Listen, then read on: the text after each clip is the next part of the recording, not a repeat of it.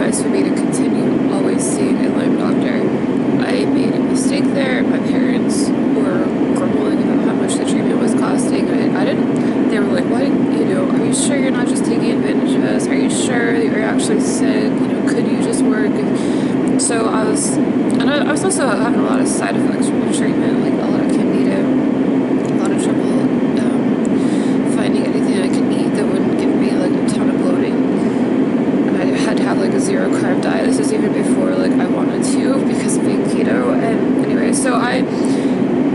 antibiotics to the Rife machine and I stopped seeing doctors because I was like, well, okay, I don't need a doctor for this. I'll just stop seeing doctors.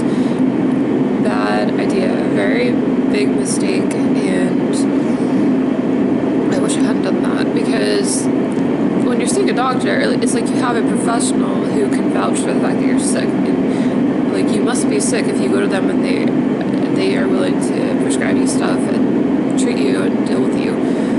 Whereas if you're not seeing a doctor, it's easy for someone to say, "Oh, are you sure you're not just um, making this up and just to get out of work? Are you sure? Are you sure you're not just a hypochondriac? Are you sure you're like, you know, maybe this is?" It's that's what my stepmom, my fucking stepmom, may she live in infamy.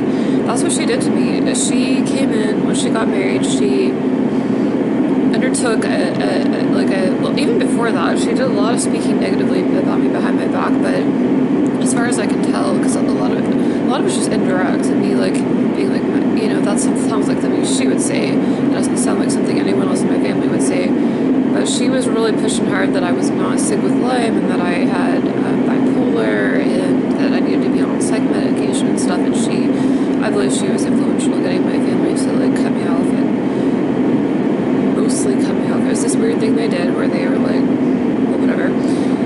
I was mostly on my own after that point, and um, it was horrible. It was life threatening, and I I felt like a goner during a lot of it. I'm kind of surprised I made it through it. So anyway, that's my that's my PSA for why to keep seeing a Lyme doctor because it would have been a lot better had I just been like, well, my Lyme doctor says I'm not better yet. Don't you guys want me to keep going? Like, he's really alarmed at this idea of me not seeing him anymore. Like, I need to be able to keep seeing this doctor. Or he says that, you know, I need to go through this and this, you know, reach this milestone before I can quit treatment, you know, and, you know, whether it's whatever. So, yeah, um, continue seeing a doctor. Also, just for your own sake, continue seeing a doctor so that you can be honest with yourself about if you're relapsing and just, even if it's just every six months, just continue having a touch point with the doctor. Also, so you can stay as an official patient because sometimes these people, their practices fill up and they won't accept new patients. But if you're just seeing them even infrequently, you still count as a patient. That happened with one of my Lyme doctors.